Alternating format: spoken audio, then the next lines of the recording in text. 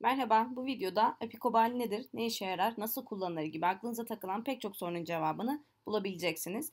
Vücudun ihtiyaç duyduğu B12 vitamini eksikliğini tedavi etmek için kullanılan bir ilaç. Ee, aktif bileşeni olan B12 vitamini bulunmakta içerisinde. B12 vitamini vücudun normal sinir sistemi işleyişi ve kırmızı kan hücresi üretimi için oldukça gerekli. Apikobal B12 vitamini eksikliği durumunda kullanılmaktadır. Apikobali sadece doktorunuzun tavsiyesine göre kullanmanız gerekmekte ve doz ve kullanım sıklığı doktorunuz tarafından belirlenmekte. Apikobal genellikle kas içi bir enjeksiyon yoluyla uygulanabilir veya kapsül formu, tablet formu da bulunmaktadır. Bunun dışında kullanımına bağlı olarak bazı kişilerde bazı hassasiyetlere sebep olabilir.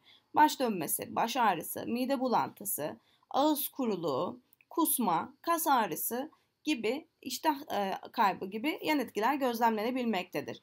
Apikobali kullanırken dikkat edilmesi gereken bazı hususlar bulunmakta. Bunlardan ilki ilacın tamamını doktorunuzun önerdiği şekilde kullanmanız, ilacı aniden kesmemeniz ve dozu değiştirmemeniz.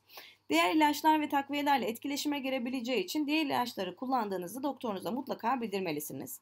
Hamilelik veya emzirme dönemindeyseniz doktorunuzla ilaç kullanımını mutlaka konuşmanız gerekmekte. Bunun dışında B12 vitamini eksikliğinin tedavisinde sıklıkla kullanılan bir ilaç ancak herhangi bir ilaç kullanmadan önce doktorunuza danışmayı lütfen unutmayın. Bu anlamda kullanacağınız diğer takviye ilaçlar varsa bunları doktorunuzla paylaşabilirsiniz.